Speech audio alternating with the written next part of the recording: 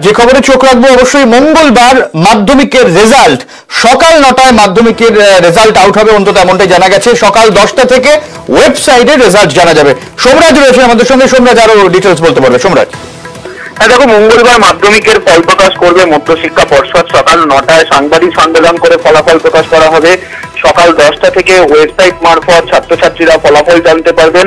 আমাদের যে ওয়েবসাইট অর্থাৎ W W W dot news eighteen Bangla dot com তা সেই ওয়েবসাইট মারফত ছাত্রছাত্রীরাও ফলাফল জানতে পারবেন।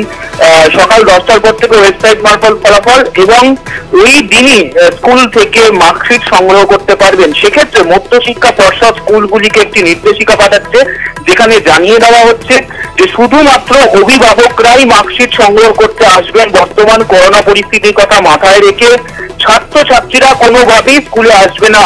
প্রধান শিক্ষকদের এটাও জানিয়ে দেওয়া হচ্ছে, যদি কোনো ছাত্রছাত্রী আসেন স্কুলে মার্কশিট নিতে, তাহলে সেই ছাত্রছাত্রীকে মার্কশিট দেওয়া হবে না।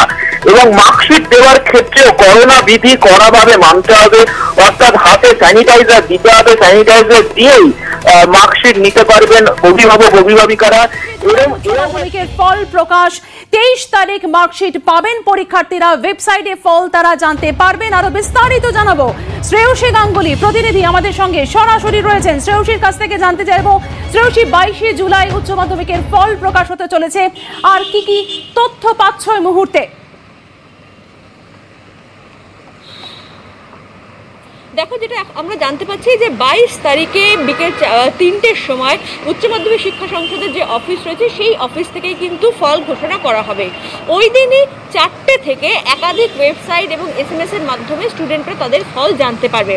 তবে এবার কিন্তু ওই দিনই স্টুডেন্টরা তাদের মার্কশিট পাবে না। তার কারণ হচ্ছে বিভিন্ন স্কুলগুলোকে, প্রত্যেকটা স্কুলকে বলা হয়েছে যে তারা তেইশ তারিখ সকাল এগারোটা থেকে বিভিন্ন মার্কশিট ডিস্ট্রিবিউশন যে সেন্টারগুলো রয়েছে, সেখান থেকে তারা মার্কশিট কালেক্ট করবে। অর্থাৎ বিভিন্ন যে ক্যাম্প অফিসগুলো হবে, সেখান থেকে তারা কালেক্ট করবেন। সাধারণভাবে দেখা যায় যে স্টুডেন্টরা যেদিন পরীক্ষার রেজাল্ট বেরোয়, সেদিনই তাদের হাতে মার্কশিট তুলে দেওয়া হয়। কিন্তু এবার কিন্তু সেই সেই পরিস্থিতিটা বা সেই নিয়মটা কিছুটা বদল করা হয়েছে।